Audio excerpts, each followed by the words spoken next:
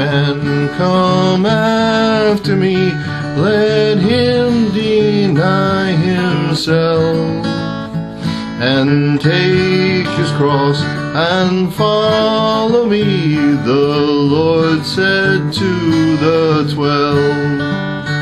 For whosoever wills to save his life for selfish gain will find that he has lost it all, condemned to hellish pain.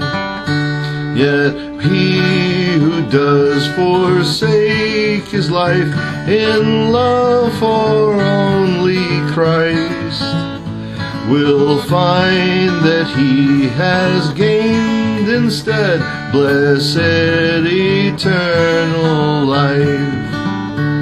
For what is profited a man if the world he should gain? To lose his soul for worldly things is not a blessed exchange.